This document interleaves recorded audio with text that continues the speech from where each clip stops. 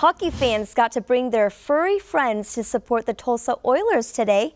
Take a look. This is the first Pucks and Paws event, a game with designated sections for dogs. Tulsa took on the Kansas City Mavericks, and four-legged friends got free Oilers bandanas. There was even a canine attack demonstration on the ice.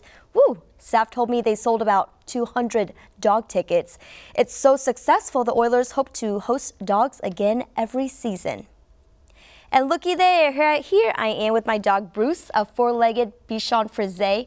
Look at him. We enjoyed walking around and meeting with some News on 6 viewers and other dogs. We even hung out with some nice princesses. They look so happy. Bruce is such a ladies' man.